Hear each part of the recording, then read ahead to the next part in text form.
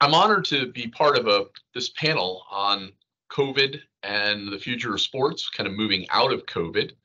I had a kind of a frontline position as athletics integrity officer at Penn State during the COVID crisis.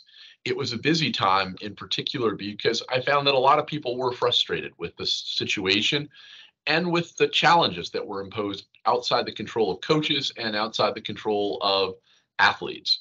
So difficult time for a lot of people, uh, a time of high expectations, a time of challenges, and one that I think we can learn a lot from moving forward.